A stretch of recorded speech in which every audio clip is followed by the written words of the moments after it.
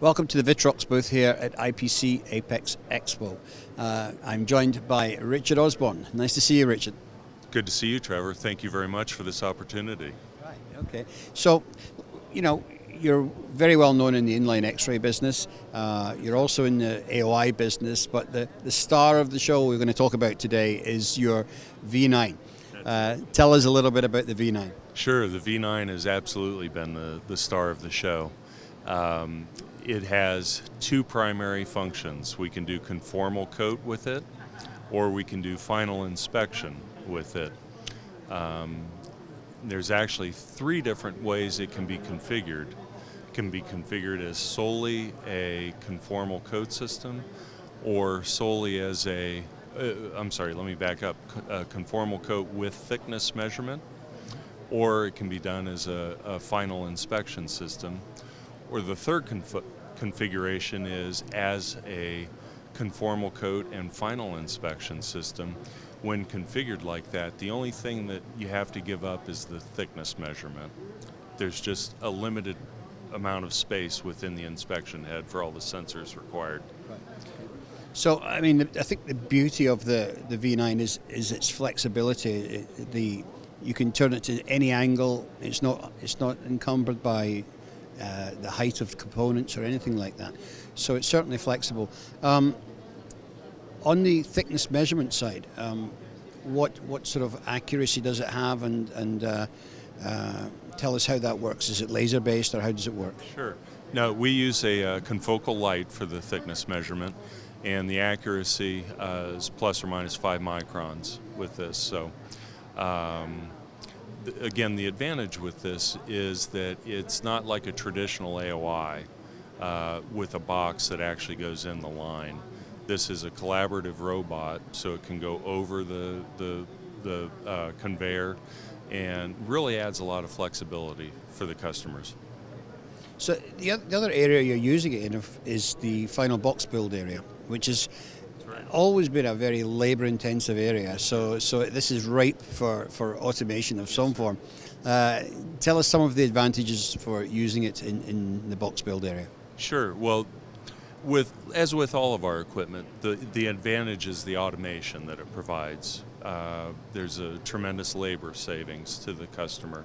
So with the final inspection, as you're calling the box build, um, we can inspect the board before it goes out to the customer. So after the board's gone through each step in the process, we want to verify that parts, SMT parts, haven't been damaged or knocked off of the board. So we're inspecting for that. But we're also inspecting for to make sure all of the appropriate screws are in place, um, the uh, labels that may need to be on there, uh, uh, heat shields, heat sinks, are on there. Basically, everything as it should be before it goes to the end customer. And it's it's very easy to program, and uh, it no longer requires an individual sitting there comparing what what is, is what it's supposed to be. So just out of interest, how popular has that been in, in the U.S. market? It, it it's hugely popular. Um, we uh, we wore out two of our engineers yesterday doing demos with this. Uh, this show has been fantastic for us. So it's been very popular. In particular, um, we are seeing uh, interest in this in the mill aero arena, but also huge interest in the EV market very big demand there. Well, I mean, the thing is, the minute you bring automation into any process, you, you get rid of, unfortunately, not just the labour content, but the, the uh, some of the, the defects that, that, tend to creep in, when, which is natural in, yes, when you've got people doing things. Yes, that's absolutely correct, and that's that's a big part of this. So what I, I kind of call this a gross AOI. So uh, again, we can do absence, presence, polarity we can do some simple solder inspection, but you're never going to do the same real high level solder inspection as you would do in our AOI system. But that's not really the, the, the application for it. Um, just before we, we, leave you, Richard, one other thing I wanted to touch on is that uh, you're obviously well known for the for the inline uh, X-ray systems. Yes, sir.